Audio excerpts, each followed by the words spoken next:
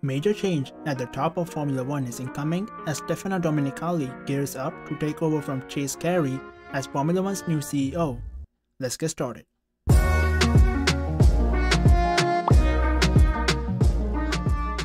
Domenicali is set to become only the third CEO of F1 in its 70-year history, following Carey and long-serving chief Bernie Ecclestone, and will take over the reins by the end of the year. While there has been no official announcement from F1 yet regarding Domenicali's appointment, plans are afoot for the Italian's arrival that will surely mark some change for the pinnacle of motorsport.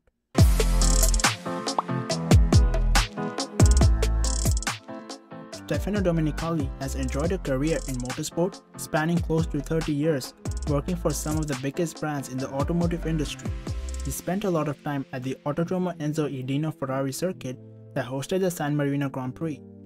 After spending much of his childhood at the track, Domenicali went to work at both Imola and Mugello before graduating from the University of Bologna and swiftly sending a CV to Ferrari.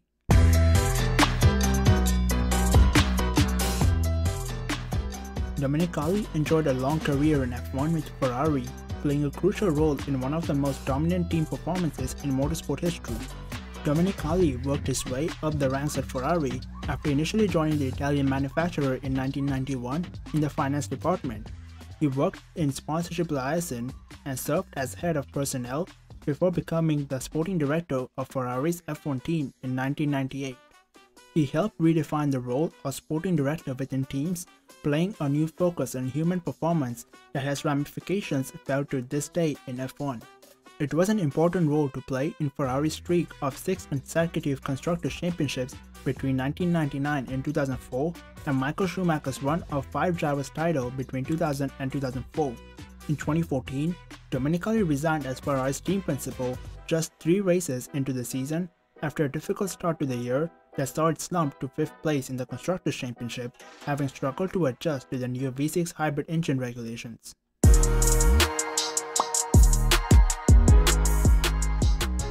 Domenicali did not spend long out of automotive industry following his departure from Ferrari, becoming the president of new business initiatives at Audi in November 2014. He then moved across the sister VW Group brand Lamborghini in 2016, becoming the CEO of the Italian manufacturer. He helped lead Lamborghini to huge growth and record sales figures through 2019.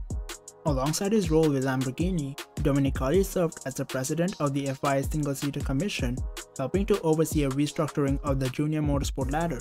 He revived the old Formula 2 category, which became the final stepping stone to Formula 1 in 2017, and also established a new international Formula 3 platform in 2019, making the path from karting to F1 much clearer for aspiring racers.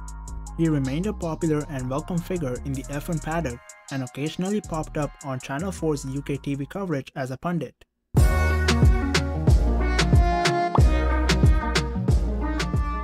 News emerged on Tuesday night that Domenicali was poised to take over from Chase Carey. Domenicali is yet to agree and complete the deal to become F1 CEO, but it is considered to be a formality, allowing for preparations to be made for his arrival. He has long been on Liberty Media's radar as a potential leader for Formula One. His record at Lamborghini proves his ability to help grow a brand, which, combined with his evident knowledge and strength in motorsport, makes him an ideal figure to take over the running of Formula One. A variety of other names have been linked to the role in the past, including existing F1 team bosses Toto Wolff, Christian Horner, and Zak Brown. But amid concerns from some teams about conflicts of interest, it was agreed that no figure could take up the role if they had worked for a team in the last two years.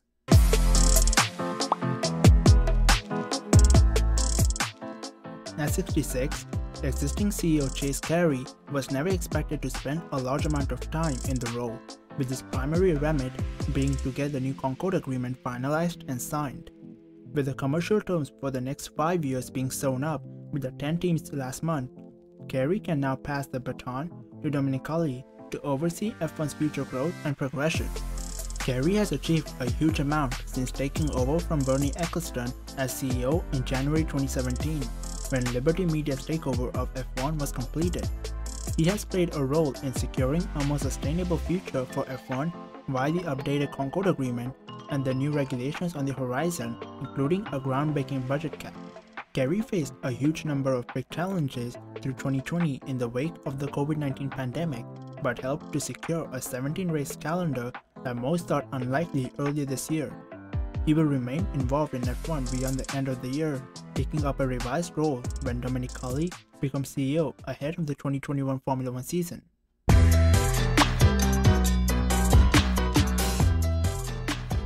The greatest change is that F1 will again be run by a racing man in Domenicali. Carey's track record in business and heading up major brands was deeply impressive, leading to his appointment in 2017 but he did not have the inside-out knowledge of F1 that Domenicali will bring to the table.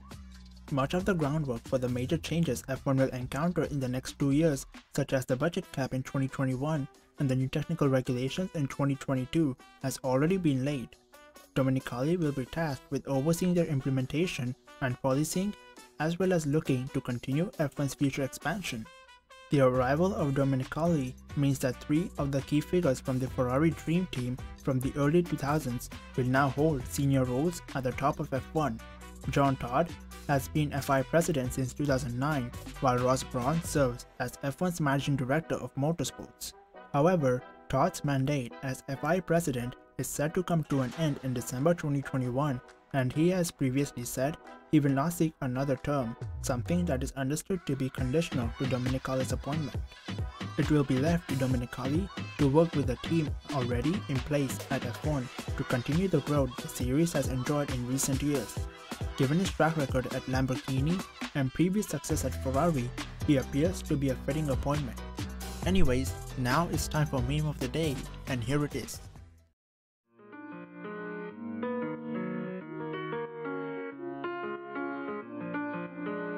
And that's been it for this video.